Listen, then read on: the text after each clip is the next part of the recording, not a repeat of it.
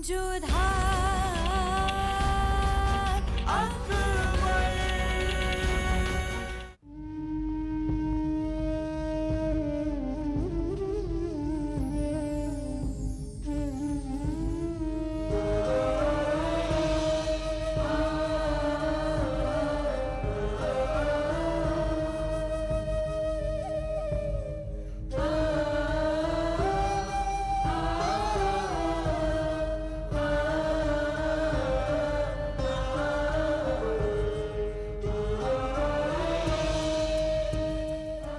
Bitte konvertiere zum Islam. Ich flehe dich an, Königin Joda.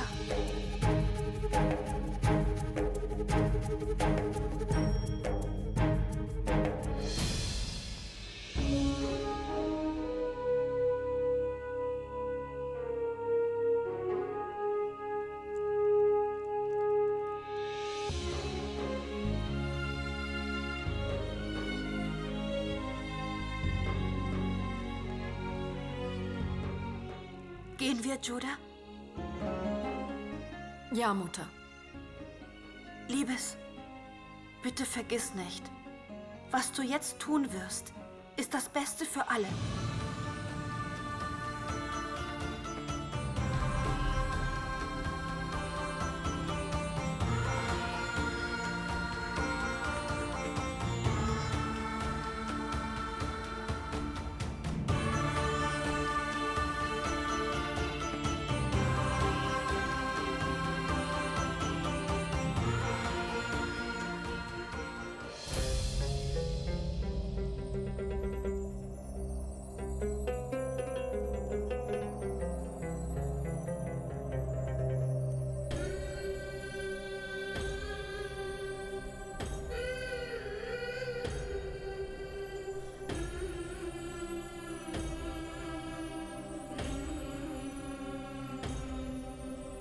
Seid gegrüßt und geschützt durch die Gnade des Allmächtigen.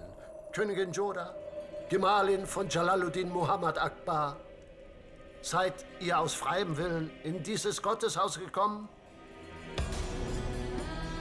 Ja, Hat euch jemand gezwungen oder erpresst, heute an diesen heiligen Ort zu kommen?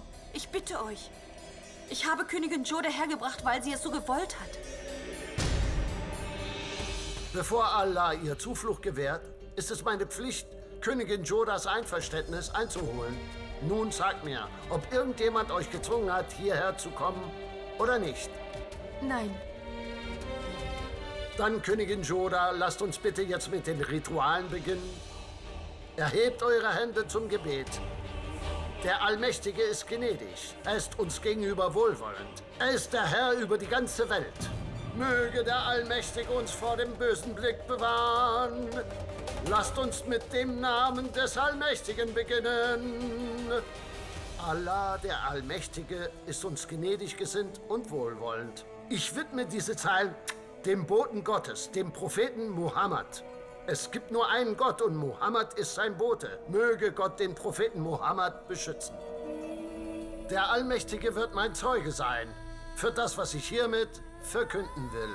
Wenn ihr also nicht unter dem Einfluss oder dem Zwang irgendeiner anderen Person oder einer höheren Gewalt steht und wenn ihr versprecht, die Macht von Gott dem Allmächtigen aufrichtig, ehrlich und aus eigenem Willen, Antrieb und Überzeugung zu akzeptieren, dann ist der heilige Koran hiermit euer Zeuge, dass ihr akzeptiert, ab heute eine Moslem zu sein und dem Pfad der Güte und Reinheit zu folgen. Denn bevor ihr den Islam annehmt, müsst ihr an den Allmächtigen, den einzig wahren Gott und seinen einzigen Boten glauben. Ihr müsst sagen, dass es nur einen Gott gibt und Mohammed sein Bote ist. Ihr werdet nicht lügen können, da Gott selbst euer Zeuge ist. Joda, bitte antworte ihm. Antwortet mir, Königin Joda. Wollt ihr zum Islam konvertieren? Wenn ja, sprecht diesen Vers. Es gibt nur einen Gott und Mohammed ist sein Bote.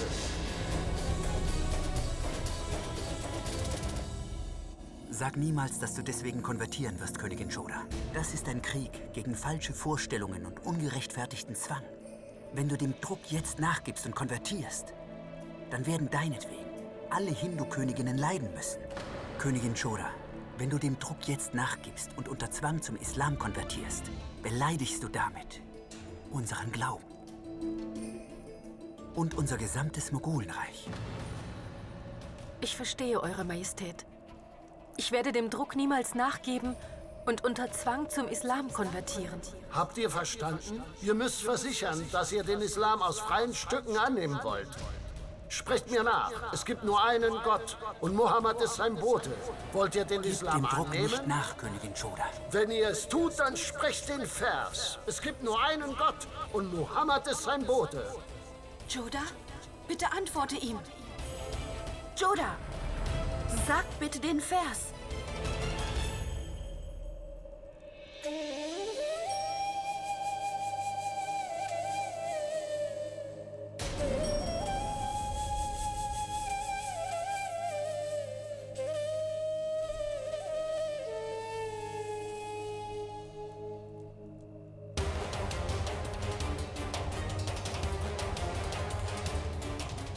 Ich werde diesen Vers nicht sagen. Denn wenn ich es tun würde, dann wäre das eine Beleidigung für den Islam. Wenn ich den Islam annehmen würde, könnte Krishna mir vielleicht vergeben, aber ich würde damit gegen die Regeln des Islams verstoßen. Ich muss euch sagen, dass der Kaiser des Iran mich zwingen will zu konvertieren. Gib jetzt nicht auf, du bist schon so weit gekommen. Bitte denk doch an Jalal und Salim. Und nimm den Islam an. Nein, Mutter.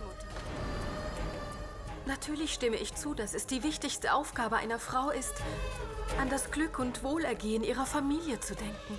Aber mein Sohn ist nicht meine einzige Familie. Ich habe auch einen Mann. Ich bin nicht nur Salims Mutter, sondern auch des Kaisers Gemahlin.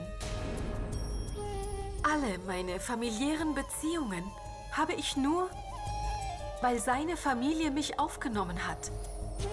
Ich kann seine Majestät doch nicht einfach hintergehen. Wie könnte ich auf diese Weise sein Vertrauen missbrauchen? Ich habe eine Familie dank seiner Majestät. Und ich verdanke seiner Majestät euer aller Liebe. Bitte sagt mir doch einmal, Mutter, wie könnte ich mich gegen seine Majestät und für den Islam entscheiden? Welchen Sinn hat es Prinzessin Kanum, in eine derartige Familie einheiraten zu lassen, die sich nicht für Gefühle interessiert, sondern nur für die Meinung irgendeines einflussreichen Kaisers? Glaubt ihr, sie ändern ihre Art zu denken, weil ich zum Islam konvertiere? Ich weiß, dass ihr denkt, dass es keinen Unterschied macht, ob man der einen oder der anderen Religion folgt. Und genauso denke auch ich. Auch seine Majestät denkt genauso. Also, warum sollte ich konvertieren, nur weil der Kaiser des Iran einer anderen Ansicht ist als wir? Mutter, es ist etwas anderes, den Glauben der anderen zu respektieren oder ihn anzunehmen. Ich habe den Islam immer vollstens respektiert, genauso wie auch den Hinduismus. Und das werde ich immer tun. Aber ich werde niemals dem Druck nachgeben und zu einer anderen Religion konvertieren. Ich werde meine Pflichten als Frau erfüllen und somit seine Majestät unterstützen. Ich habe eine Entscheidung getroffen und niemand kann sie mehr ändern. Aber was sind deine Pflichten mir gegenüber? Ich bin die Mutter deines Gemahls, deine Schwiegermutter.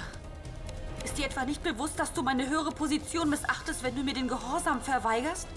Ich habe dir gesagt, was sich durch deine Entscheidung alles verändern wird. Deshalb befehle ich dir hiermit und als die Mutter des Kaisers, den Islam als Glauben anzunehmen. Bitte verzeiht mir, Eure Hoheit. Aber ihr dürft sie zu nichts zwingen. Ihr begeht eine Sünde, wenn ihr sie zwingt. Den Islam wählt man aus freien Stücken. Ich werde diese Sünde auf keinen Fall begehen. Ich bitte euch, vergebt mir, Mutter. Aber ich kann euren Befehl diesmal nicht befolgen. Das ist das erste Mal, dass ich dich darum bitte, etwas für mich zu tun, Joda. Und du verweigerst es mir. Das werde ich niemals vergessen können.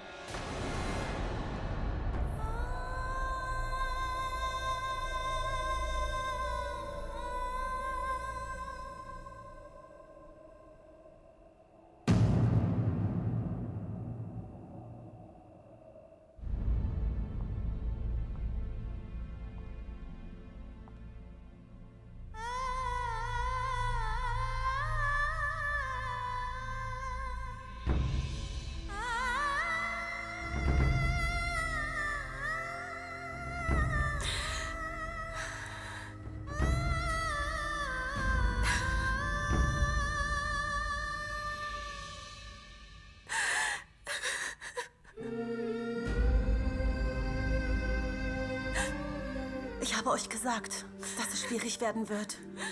Ich habe euch geraten, es euch vorher gut zu überlegen. Es ist nicht leicht zu konvertieren, Joda. Es ist schwer, den Glauben zu vergessen, dem du dein Leben lang folgtest. Ich bin gar nicht konvertiert, Moti. Was? Aber ihr wolltet es doch tun. Aber ich konnte es nicht. Ich konnte es nicht. Ich konnte nicht. Seine Majestät kämpft für mich. Und er kämpft für die Reinheit des Islam. Wenn ich den Islam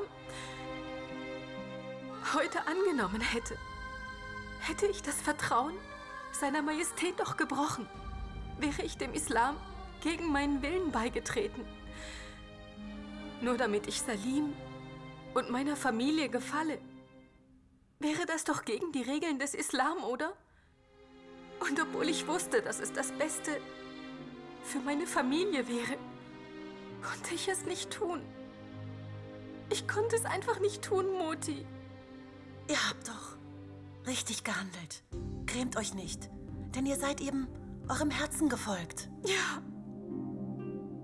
Aber Mutter, das ist das allererste Mal gewesen, dass ich Mutters Befehl verweigert habe.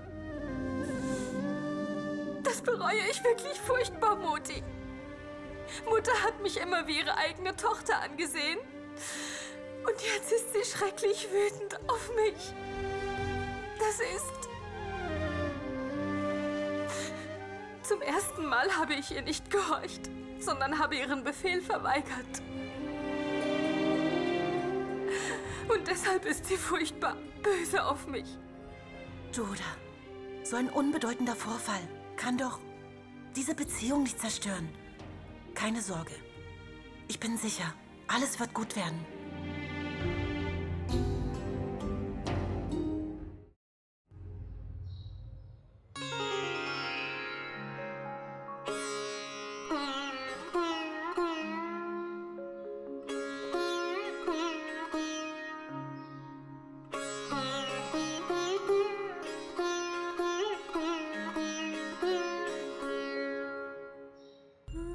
Erhöre mich, Tulsi.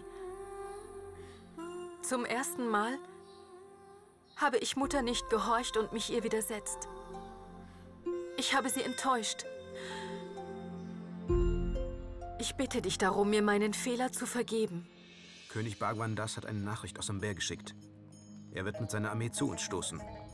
Auch Mirza Hakim ist bereits mit seiner Armee in Kabul. Sehr gut. Setzt unsere Spione darüber in Kenntnis. Sie sollen mich informieren, was die Königreiche unternehmen, die den Iran unterstützen. Ja, Majestät.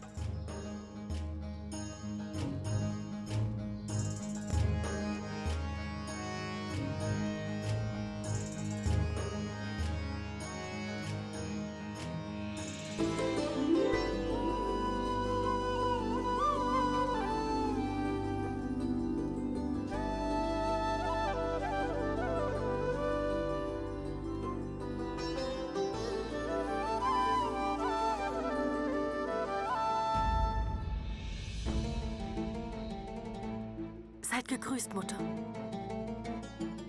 Nehmt den Segen.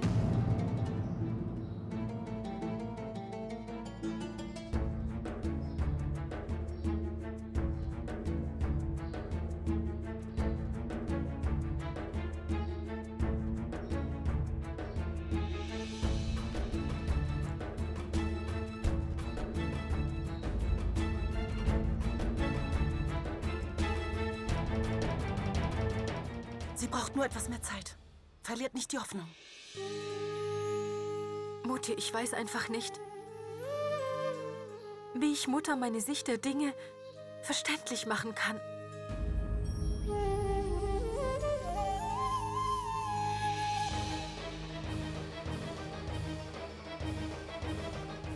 Mutter hat nicht mit Königin Choda gesprochen.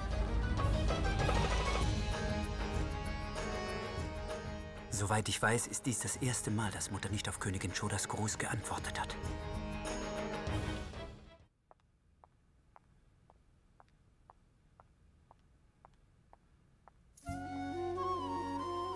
Seid gegrüßt, Eure Hoheit. Der kaiserliche Schneider hat diesen bestickten Stoff für euch geschickt. Er bittet um eure Erlaubnis, mit dem Sticken beginnen zu dürfen. Natürlich. Er hat die Erlaubnis. Habt Dank. Ich muss dringend mit Mutter sprechen. Was habe ich nur getan? Ich habe sie verletzt.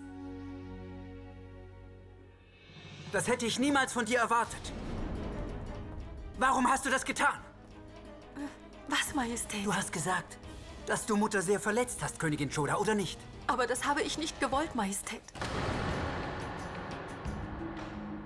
Und warum schaust du dann so, Königin Choda, als ob du eine große Sünde begangen hättest? Heute Morgen ist mir aufgefallen, dass Mutter nicht auf deinen Gruß reagiert hat. Ich will doch einfach nur wissen, was du getan hast. Weshalb ist sie denn wütend auf dich? Das bedeutet, seine Majestät weiß von nichts. Dann sollte er es auch nicht erfahren. Sag, wie kam es zu dem Streit mit deiner Schwiegermutter? Eigentlich ist sie meine Mutter, Majestät. Und nicht meine Schwiegermutter. Wir lösen dieses Problem.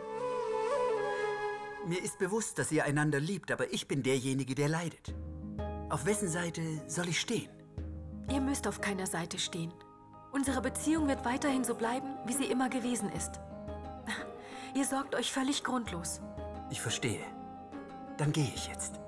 Aber vergiss nicht, du kannst mir ruhig sagen, wenn sie dir nicht zuhört. Ich werde versuchen, ihr deine Sicht auf die Dinge zu erklären. Aber das ist wirklich nicht notwendig. Ich weiß. Sie liebt dich noch viel mehr, als sie mich liebt. Ich verabschiede mich nun.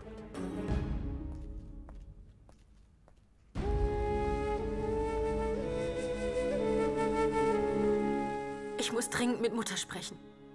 Bevor seine Majestät die Wahrheit erfährt. Ich muss das Problem klären. Ich muss sie beruhigen und mich bei ihr entschuldigen.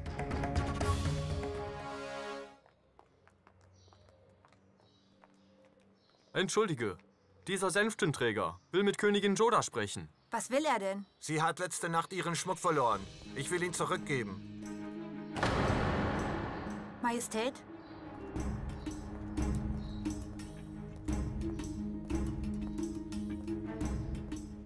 Du kannst gehen.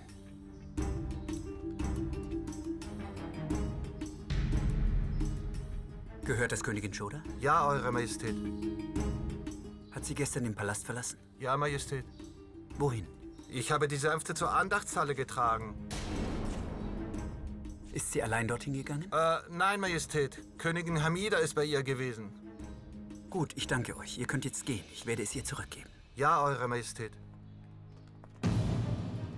Königin Shoda war gestern mit Mutter in der Andachtshalle. Warum? Warum hat sie mich nicht um Erlaubnis gefragt?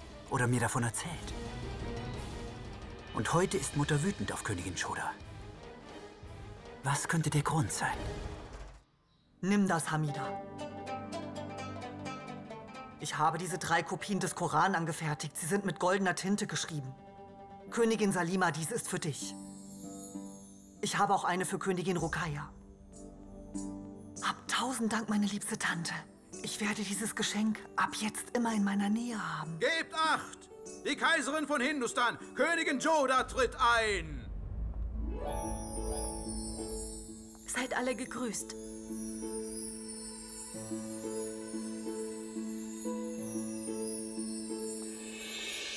Schau, Königin Joda, was Tante Gulbedan mir geschenkt hat. Sie hat Kopien des Koran mit goldener Tinte angefertigt und uns beiden eine dieser Kopien geschenkt.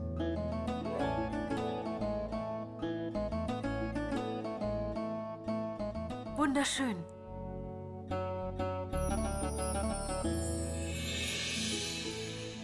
Mutter, ich möchte gerne mit euch sprechen. Na los. Ich will alleine mit euch sprechen. Ähm, ähm, Mutter, ich sehe euch später. Seid gesegnet. Bleib hier, Königin Salima. Es ist nicht nötig, dass du jetzt gehst. Du kannst vor allen offen sprechen, ich höre zu. Alle sollen erfahren, was du getan hast. Was ist passiert, Mutter? Ich habe nie erlebt, dass ihr in diesem Ton mit Königin Joda gesprochen habt. Sie hat mich in der Vergangenheit auch noch nie beleidigt, Königin Salima. Aber was ist passiert, Mutter? Zum ersten Mal habe ich sie um etwas gebeten. Und sie hat sich geweigert. Ich bitte euch, verzeiht mir, Mutter. Aber ich konnte euch einfach nicht gehorchen. Falls du hier bist, um dich dafür zu entschuldigen, Joda, dann wisse, dass ich dir nicht vergeben werde.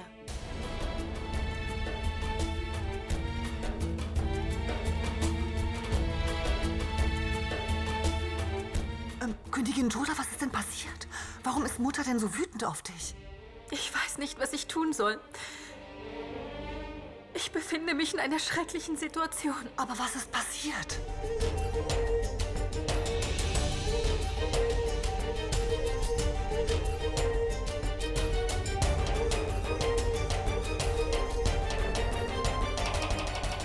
Wie konnte Mutter so eine wichtige Entscheidung treffen, ohne vorher seine Majestät um Erlaubnis zu bitten? Königin Salima, bitte, du musst mir versprechen, dass du seiner Majestät nichts sagst. Er zieht in den Krieg und das würde ihn nur ablenken. Mach dir keine Sorgen, Königin Joda. Ich werde seiner Majestät nichts davon sagen.